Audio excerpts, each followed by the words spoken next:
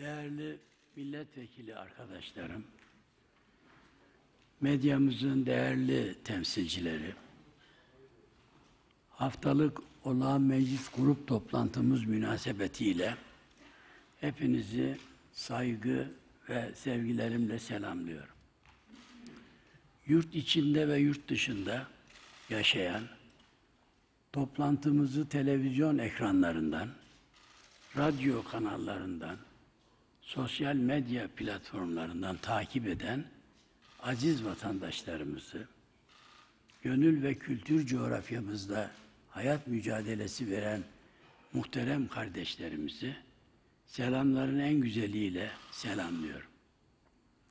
Kalbi vatan ve millet sevdası ile çarpan her insanımızı hasretle, hürmetle, hususiyetle kucaklıyorum.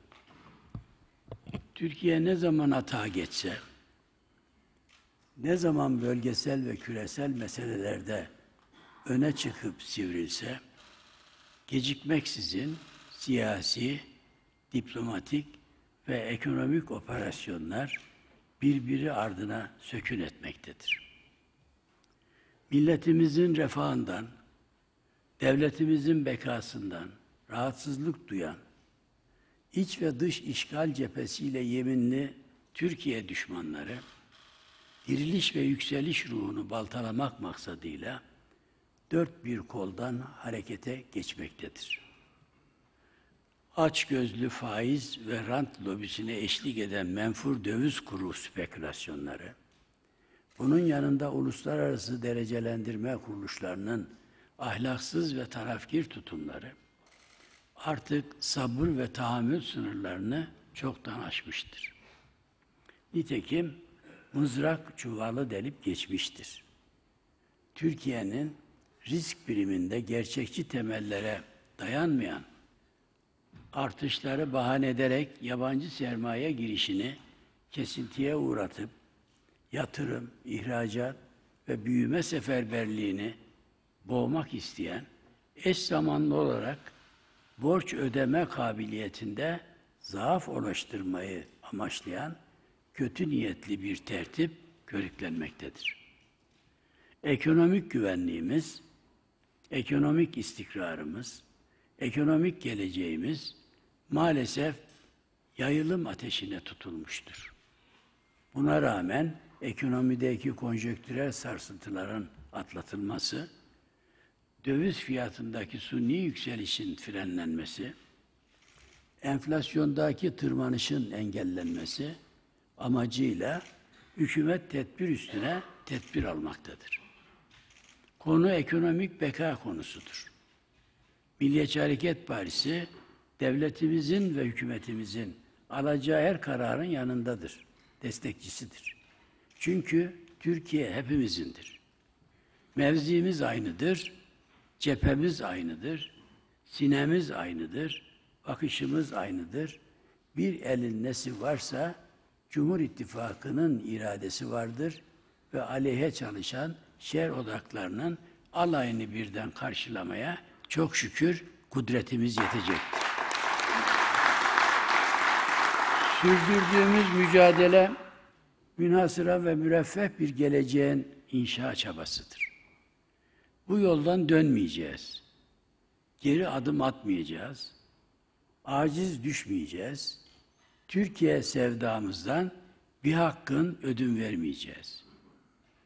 Özellikle kur ve enflasyonda ekonomik gerçeklerle ters düşen artışların bir süre sonra normalleşeceğine, hazmedilebilir ve makul seviyelerde istikrar kazanacağına inanıyoruz.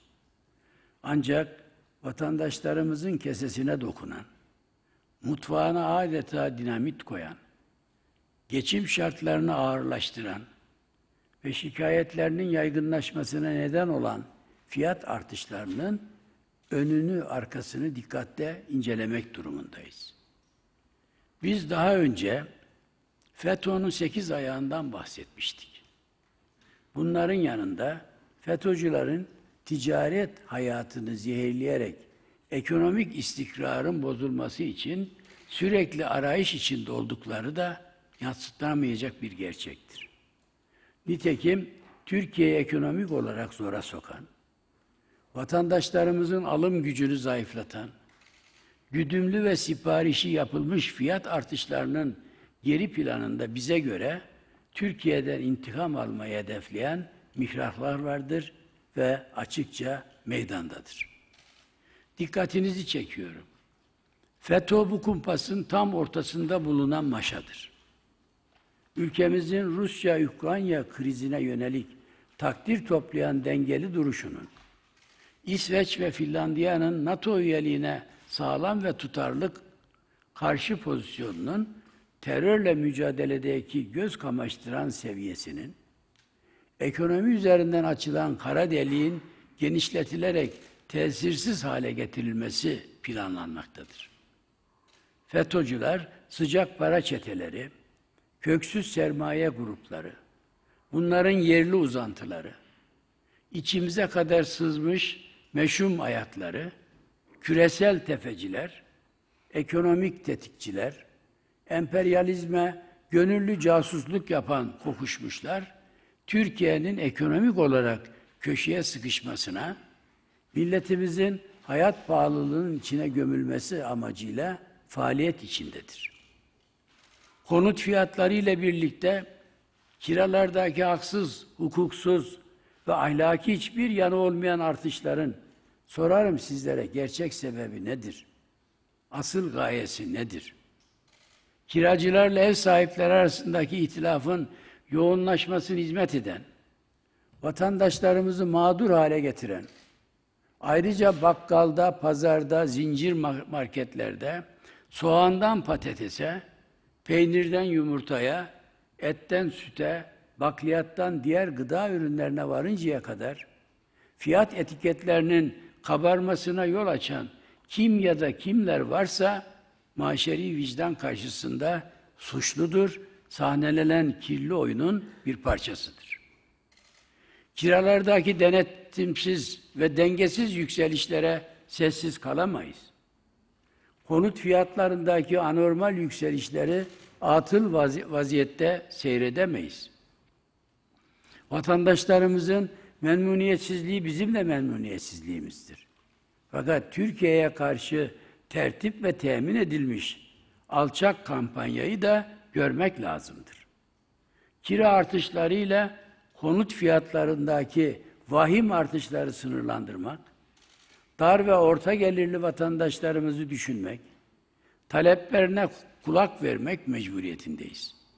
Haksız kazanç peşine düşen, doymayan kursaklarıyla insanımızın sofrasına ve tenceresine göz koyan fırsatçıların elbette yakasından tutmalıyız, bedelini de ödetmeliyiz. Gıda ürünlerdeki fiyat artışlarının kontrolünü sağlayarak, denetimleri sıklaştırarak, cebini doldurmaya çalışan utanmazları cümle aleme hem de şifre etme hem de rezil etmeliyiz. Osmanlı İmparatorluğu'nun son dönemlerinde yaşanan iç ve dış mahreçli ekonomik saldırıların, ekonomide kurulan tuzakların bir benzerine de bugün şahit oluyoruz. Ancak buna tamam demeyeceğiz, boyun eğmeyeceğiz. Cumhuriyet Halk Partisi'nin, İP'in, Zillet İttifakı'nın diğer ortaklarının felaket korusunda buluşmaları beyhudedir. Türk milleti bu sahte demokratlara, safralaşmış demokratlara aldanmayacak, aldırmayacaktır. Mazisinde karneyle ekmek verilen hüzün dolu yılların olduğu Cumhuriyet Halk Partisi'nin ve başındaki zatın konuşmaya esasen yüzü bile yoktur. Ekonomik kanaldan yürütülen sistemli ve şiddetli baskılara ant olsun sonuna kadar direneceğiz. Milletimizin ve devletimizin yanında sapa sağlam yerimizi alacağız. Ruhu bedeninden başıboş gezenlerin bize anlatacak hiçbir şeyi yoktur. Tasarlanmış kahramanlıklara karnımız toktur. Proje siyasetçilere mesafemiz kapanmayacak derecede çoktur. Biz mürekkebin bir olmadığı yıllarda soba borularında biriken kurumları toplayarak bezir yağıyla karıştırıp yazıya döken bir ceddin ahvadiyiz. Milli mücadelenin en zorlu zamanlarında biriktirilmiş kefen paralarını devletine bağışlayan vatanperver yüreklerin mirasçılarıyız. Ekmek yerine süpürge tohumunun yenildiği, kavrulup öğütülen, sonra da kaynatılan nohudun kahve niyetine içildiği dönemleri unutmuş değiliz. Gaz yağı yokken lambada haşhaş yağı kullanan yıllar aklımızdan çıkmamıştır. Milli güvenliğimiz neyse ekonomik güvenliğimiz de odur. Biz tarihten dersimizi aldık. Aynı yerimizden bir defa daha ısırılmamak için de karar verdik. İrade gösterdik, yemin ettik. Kılıçdaroğlu mahcup olacağı hevese şimdiden kapılmasın. Diğer zillet yedekleri boşuna heyecan yapmasın. Türkiye'mizin manda ve himayecilere, emperyalizme kul köle olanlara, sarhoşluk havalayla terörist Demirtaş'ın hayasız hayranlarına teslim olmayacak, teslim edilmeyecek, emanet yere düşürülmeyecek. Sabırla, sebatla, selabetle, metanetle, dayanışmayla bir ve beraberce zorlukları aşacağız. Sanal korkulukları devirip kavga ve kutuplaşmadan beslenen, yalan ve iftiradan nemalanan, firavunları ve, Yezi, ve Yezid'in izinden yürüyenleri Allah'ın izniyle mahcup edeceğiz. Değerli dava arkadaşlarım, Türkiye Cumhuriyeti'nin 100. yıl dönümü olan 2023 aynı zamanda istiklal haysiyetimizin aynı şekilde istikbal hedeflerimizin daha da müessir adımlarla ileriye taşınmasını sağlayacak tarihi bir eşiktir. Cumhuriyetin kurucu değerleri, kuruluşun felsefi derinliği, Cumhur'un iradesiyle Cumhurbaşkanlığı hükümet sisteminin demokratik itibar, irat ve ittifakıyla gücüne güç katacaktır. Yüz yıllık hayranlık uyandıran müktesebat, 2023'te perçinlenerek önümüzdeki bin yılların hamurunu yoğuracaktır. Türkiye Cumhuriyeti, Türk'ün ateşle imtihanından alınan akıyla, alnının akıyla, çıkışının aziz emaneti, bir diğer anlatımla milli mücadelenin inkarı ve ihmali mümkün olmayan zafer tacıdır. 1877 ve 1878 Osmanlı-Rus Savaşı'nda Yeşilköy'e kadar gelen ve burada karargah kuran muasım güçlerin komutanı dönemin Rus çarına şu telgrafı göndermişti. Uzakta Ayasofya'nın minareleri görünüyor. Bizi durduracak hiçbir kuvvet yok. İstanbul'a girmek için müsaadenizi bekliyorum. Söz konusu mütekebbir komutanın beklediği izin verilmese de müteakip dönemler imparatorluğumuzun adına acıklı, hüzünlü ve kayıplarla dolu fırtınalı yıllardı. 1923'e gelesiye kadar pek çok badireye maruz kaldığımız tarihi vesikalarla yaşanmış ızdırap verici gelişmelere sabittir, varittir. Her gün bir yerinden yara alan, her fırsatta saldırı ve suikaste maruz kalan Osmanlı İmparatorluğu'nun yönetim kademesinde elbette sorumsuz, düşüncesiz, hatta işbirlikçilik anaforuna kapılmış yöneticiler de vardı ve biliniyordu. Milletin onur ve şerefini, göğüslerinde iftarla taşıdıkları nişan ve madalyalar kadar dert etmeyen, önemsemeyen, değer vermeyen, devşirilmiş ve iradesini devretmiş bir kısım devlet ricali makus çöküşe doğrudan veya dolaylı hizmet etmişlerdi. Ancak şu mutlak gerçeğin altı da çizilmelidir ki Osmanlı İmparatorluğu'nda tahta çıkan hiçbir padişah asla ve kat'a kendi çıkarını devletinin ve milletinin çıkarı üstüne görmemiştir. Bunun yanında Oğuz soyundan kesinlikle hain çıkmamıştır.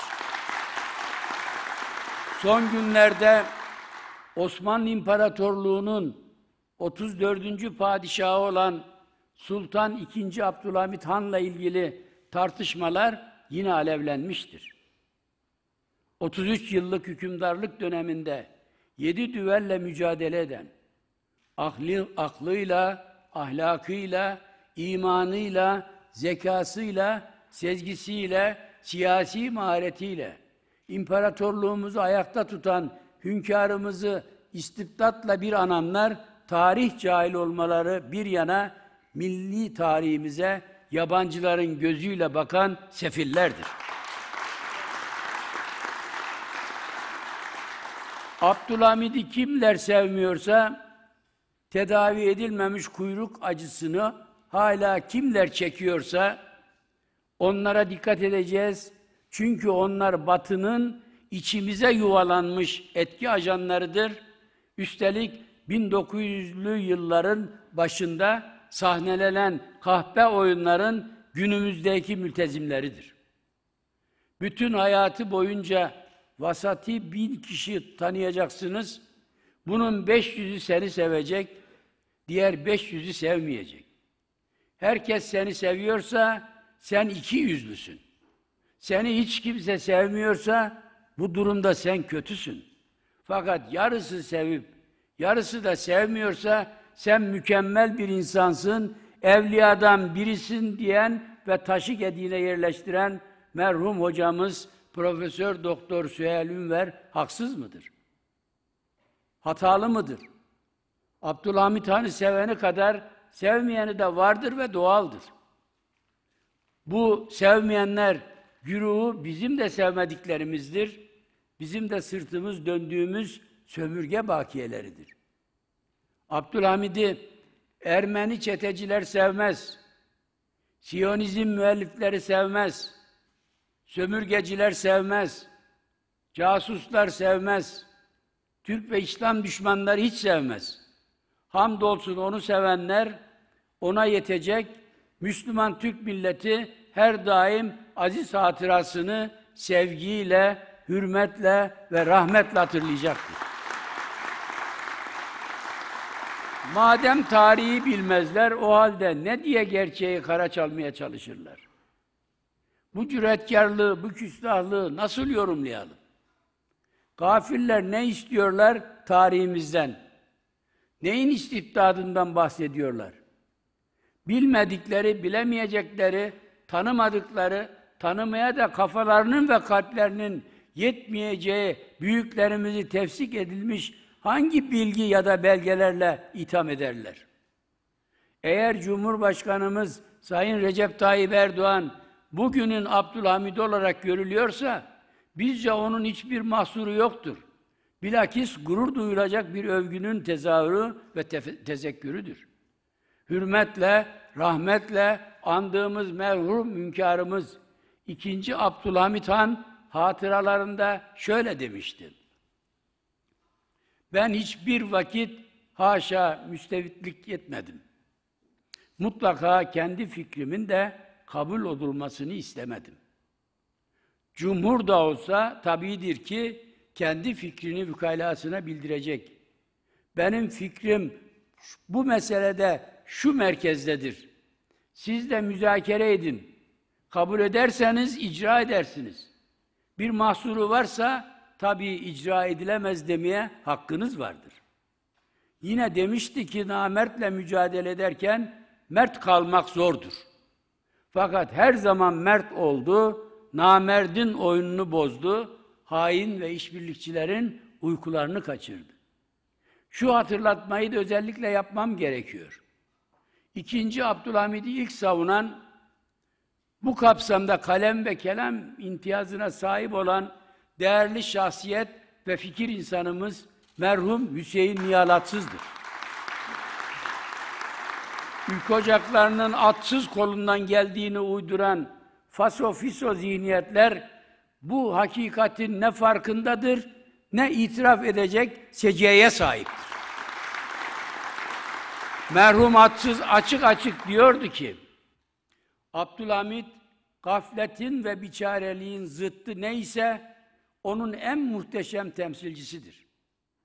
Ve Ulu Hakan Abdülhamit isimli bir broşürle üretilmiş yalanlara cevap vermiş, Kızıl Sultan iftirasına Gök Hakan diyerek karşı koymuştu. Abdülhamit'le ilgili temelsiz görüş ve kanaat paylaşımını kendilerinde hak görenler, önce halkın hissiyatını anlamak, hakikatin imbiğinden damıtlamak zorundadır. Biz ecdadımıza diz uzattırmayız. Tarihimize laf ettirmeyiz. Zillete düşenlere geçmişimizi yargılatmayız. Devşirmelere akıllarını başlarına devşirmelerini de hasreten tavsiye ve tebliğ ederiz.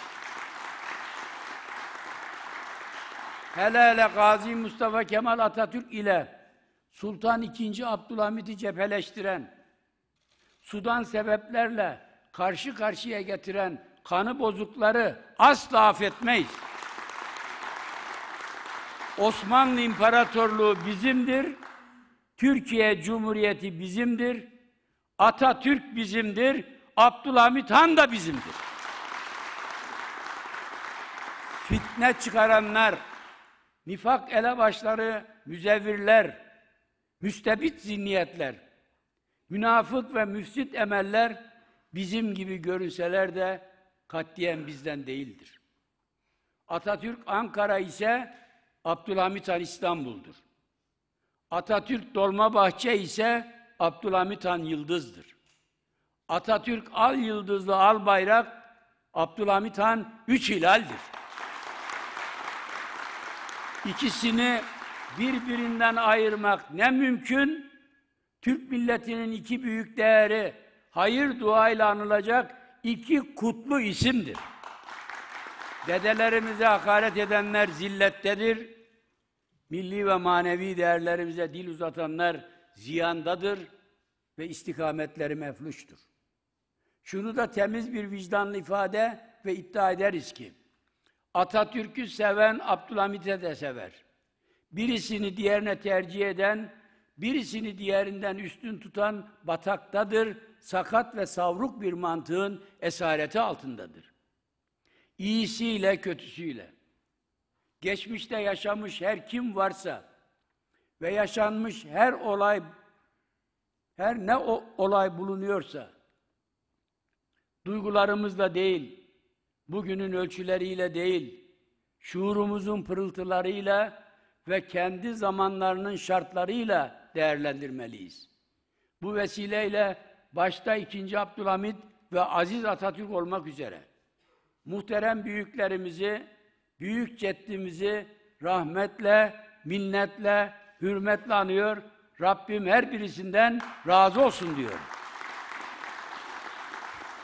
Değerli milletvekilleri, İsveç ve Finlandiya'nın geçtiğimiz hafta içinde NATO üyeliğine resmen müracaat etmesi, bu müracaatın zamanlaması ile birlikte gerekçeleri, Türkiye'nin haklı itirazlarının yanı sıra bahse konu iki ülkenin küresel güvenlik mimarisine muhtemel etkileri tüm boyutlarıyla tartışılmaktadır.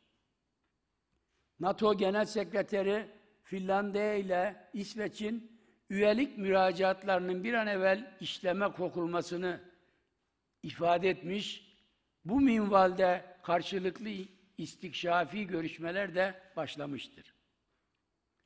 Amerika Birleşik Devletleri Başkanı Biden bu iki ülkeyle sıcak ilişki halindedir ve resmi üyelikleri için sabırsızlanırken tam destek açıklaması yapmıştır.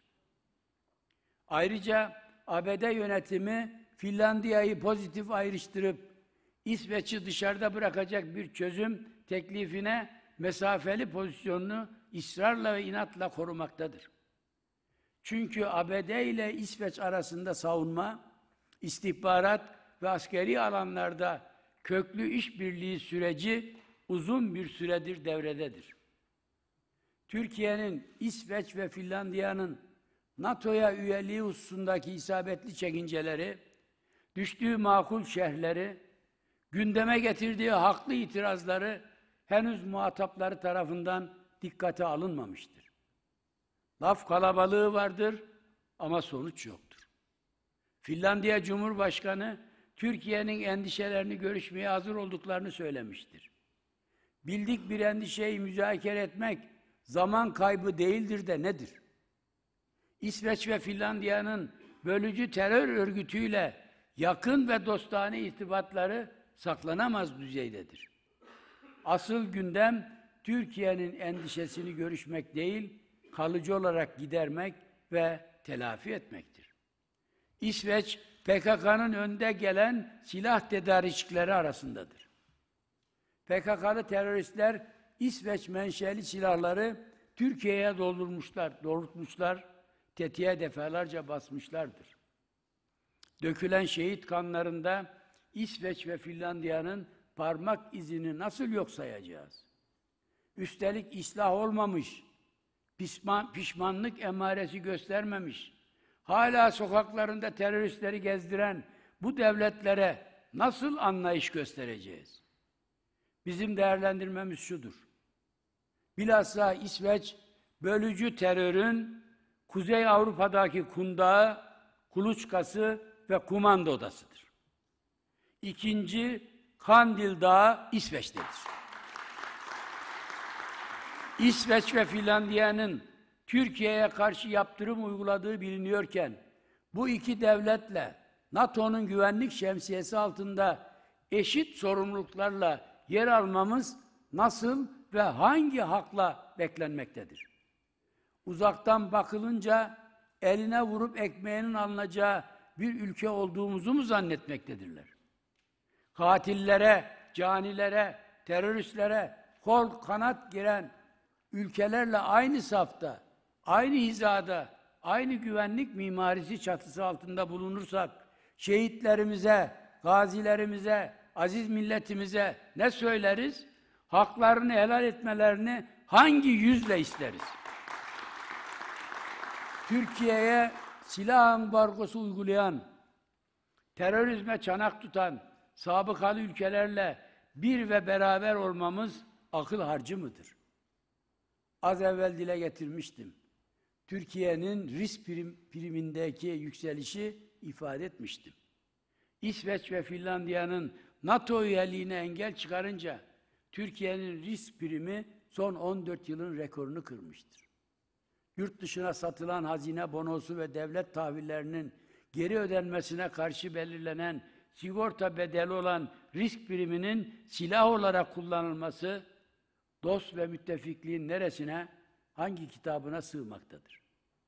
Türkiye'nin susması, sinmesi ve sessiz kalması mı amaçlanmaktadır? Siyasi ve diplomatik vasıtalarla sonuç alamayanlar bu defada ekonomik kartını masaya mı sürmektedir? Bu edepsizliği, bu hasmane tavrı görmezden mi gelelim? Olağan mı karşılayalım? Buyurun emriniz neyse onu yapalım mı diyelim? Türkiye bağımlı ve tutsak bir ülke değildir. Türkiye sömürgeleşmiş bir ülke olamayacaktır. Biz kendi kararımızı, kendi duruşumuzu milletimizin ve devletimizin hak ve çıkarlarına göre tayin ve tespit edecek kadar cesuruz ve kararlıyız. Hiç kimse Türkiye'yi tehdit etmeye yeltenmesin. Terör örgütü PKK, YPG'yi İsveç ve Finlandiya üzerinden NATO'ya fiili ortak yapmaya asla teşebbüs etmesin. Yanlış adımın döneceği merci, başkent Ankara'nın tarihi iradesi, Türk milletinin asil varlığıdır.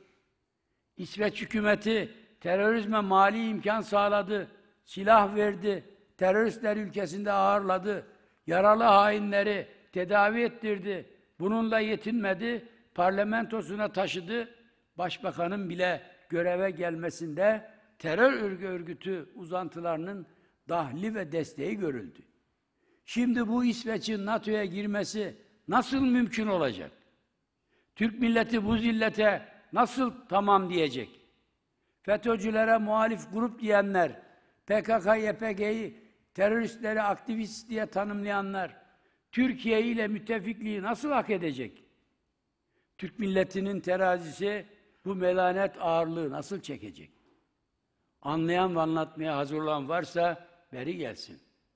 Diyor ki merhum Sezai Karakoç, anlamak masraflı iştir, emek ister, samimiyet ister. Yanlış anlamak kolaydır oysa. Biraz kötü niyet, biraz da cahillik kafidir. Onlar bizi yok saysalar da biz daha çok var olacağız. Onlar bizi hafife alsalar da biz daha güçlü duracağız. Onlar karşımızda saf saf toplansalar da hepsinin bileğini Cumhur İttifakı olarak bükeceğiz.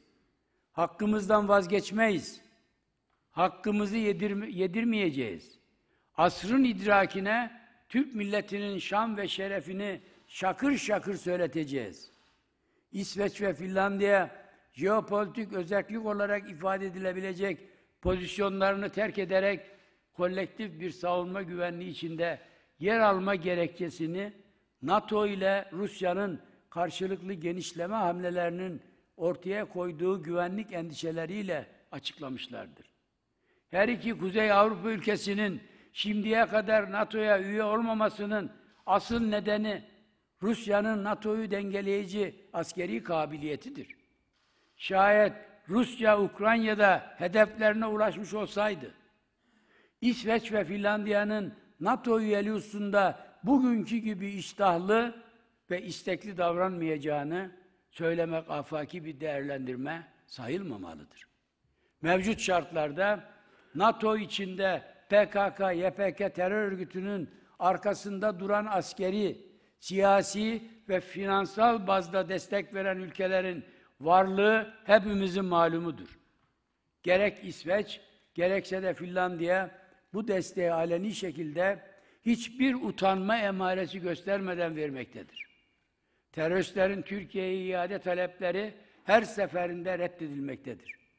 PKK'lılar, FETÖ'cüler ellerini kollarını sallayarak bu ülkelerde cirit atmaktadır.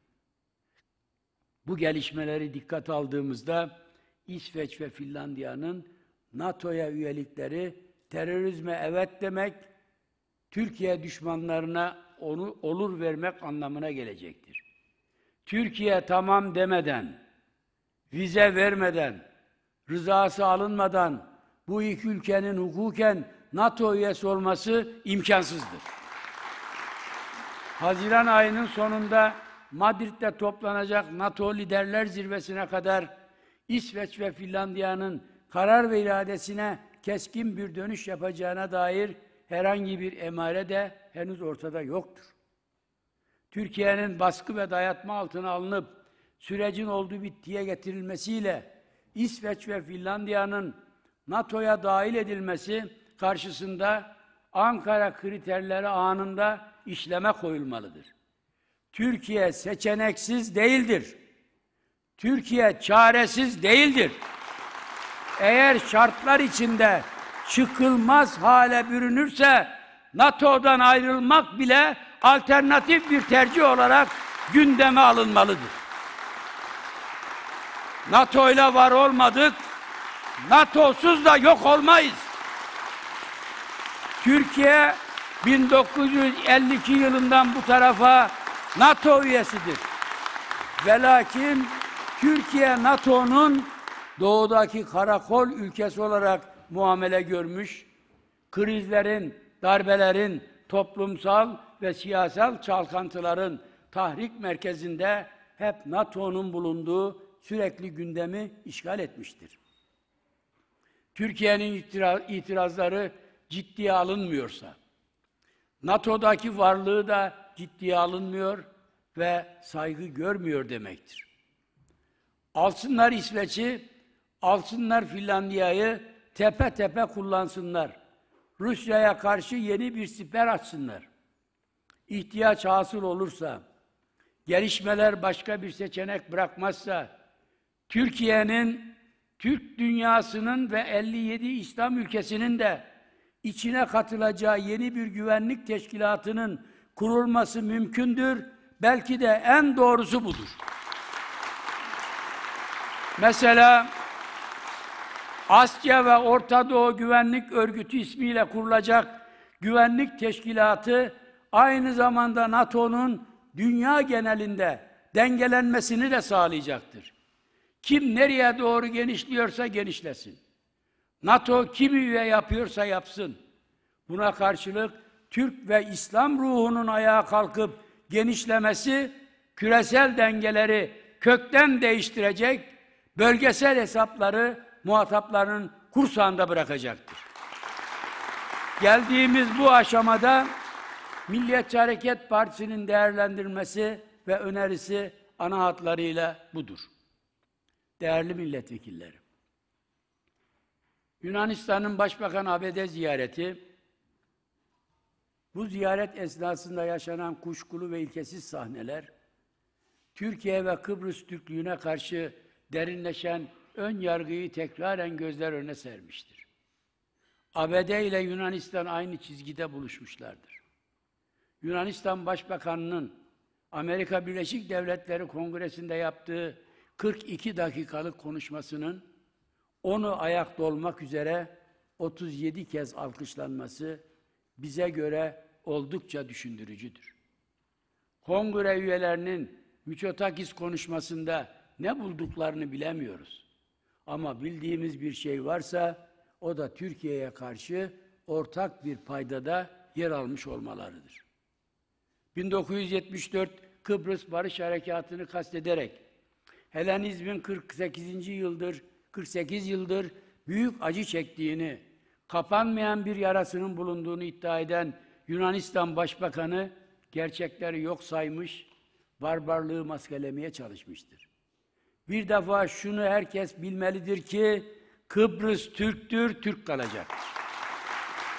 Başbakan Mişotekis ne kadar karşı gelse de Kıbrıs'ta egemen ve eşitlik temeline dayalı iki devletli çözümden başka bir çıkış yoktur. Türkiye'nin ve Kıbrıs Türklüğü'nün iradesi bu yöndedir.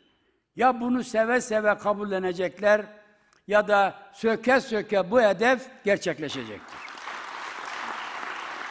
Helenizmin sözde acılarını ileri süren Yunanistan Başbakanı, Kıbrıs Türklüğüne yapılan katliamları, kanlı saldırıları, işkence ve mezalimleri ne zaman hatırlayacak, ne zaman itiraf ifade edecek, şerefli duruşu gösterecektir.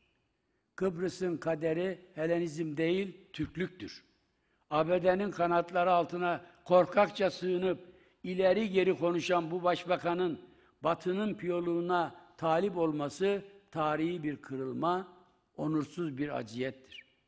Mavi vatan haritasını Amerika Birleşik Devletleri Başkanı ile görüşmesinde gündeme getirip Türkiye'yi aklınca şikayet eden Miçotakis dedeleri gibi sinsidir, namerttir, Türkiye düşmanlığını siyasi rant kapısı görecek kadar küçülmüş ve hesap hatası yapmıştır. Türk milleti Yunanistan'ın taciz ve tahrik siyasetine sonuna kadar direnecek, Akdeniz ve Ege'deki saldırganlara her şartta göğüs gelecektir. Türkiye çevresindeki kuşatmayı yaracak, muhasımların projelerini buluşturup yüzlerine fırlatacak azim ve kararlılıktadır. Tüm bunlar oluyorken Zillet İttifakı'nın Türkiye'nin yanında duruş gösterdiğini, milli haklarımızı ve milli güvenliğimizi savunduğunuzu, savunduğunu duyanınız, gören, göreniniz var mıdır? Yunanistan'a karşı sesini yükselten bir CHP'den bahsetmek mümkün müdür? İsveç ve Finlandiya'nın NATO üyeliği ile ilgili tartışmalarda Türkiye'nin lehine bir yorum, bir değerlendirme, bir görüş paylaşan bu kapsamda milletimizin hissiyatına tercüman olan muhalefet zihniyetinden söz edilebilecek midir? Bu zillet ittifakı kimlerin dümen suyundadır? Kimlerin talimatı, telkini ve tembihi altındadır? Biri Allah'tan korkmaz, kuldan utanmazlar. Türkiye'nin milli çıkarlarını, milletimizin tarihi emanetlerini ne zaman müdafaa etmeyi düşünüyorsunuz? Daha ne olmasını bekliyorsunuz? Bunların ağzını bıçak açmıyor. Sanki hiçbir şey olmamış gibi ve olmuyor gibi siyasi istismarlarına devam ediyorlar. Ne acımızda varlar ne de sevincimizde ortaklar. Fedakarlık deseniz ortalıkta hiç yoklar.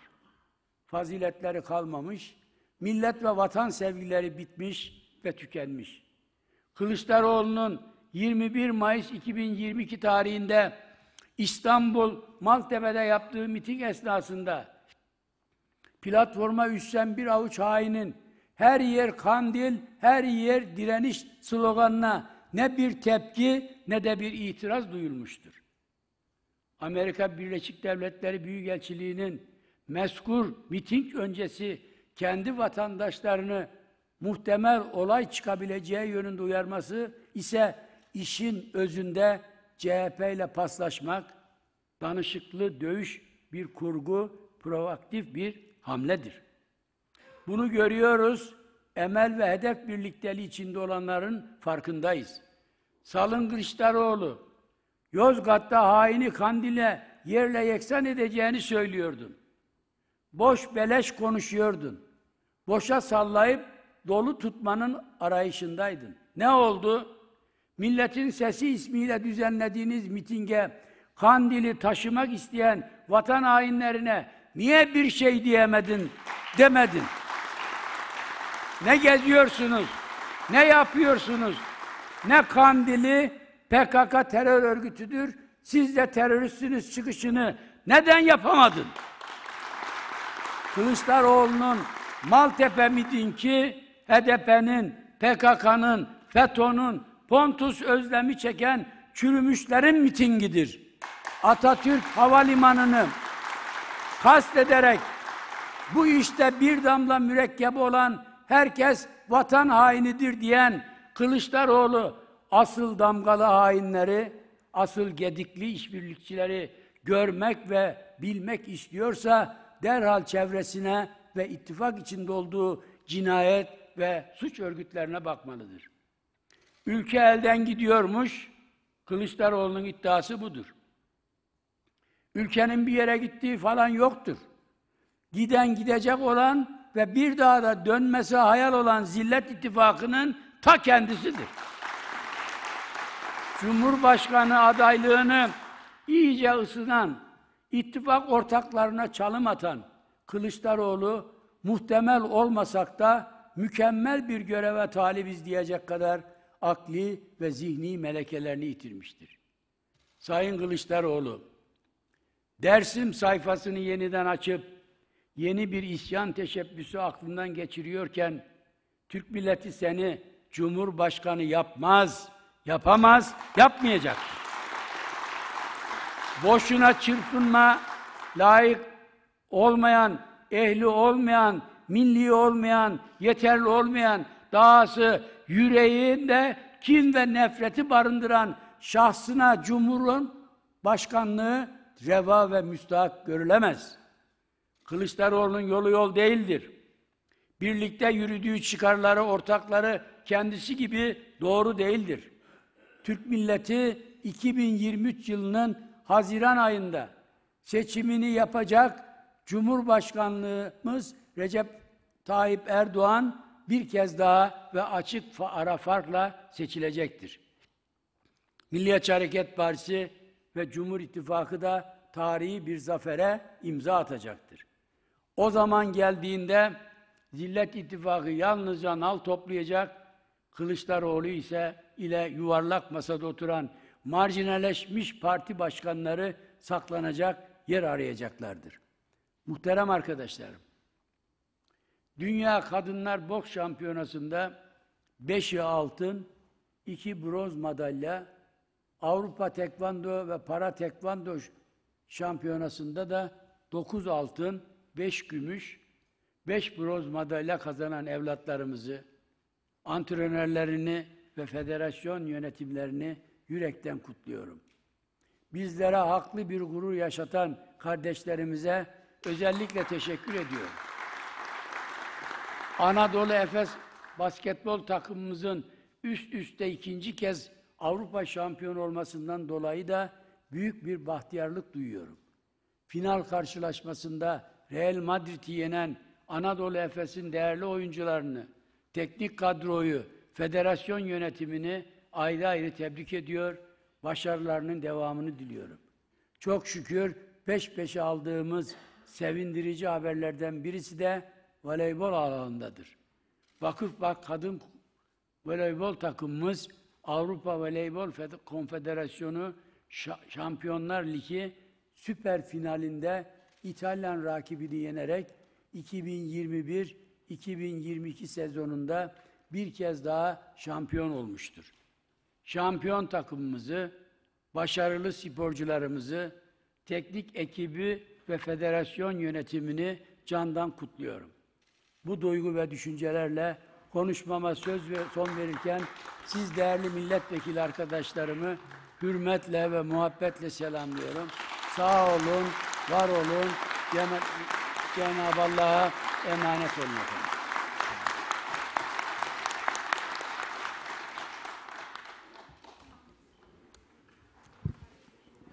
Sayın Genel Başkanım, hitaplarınızdan ötürü şükranlarımızı sunuyoruz. Herhangi bir talimatınız yoksa toplantıyı kapatıyorum. Arz ederim.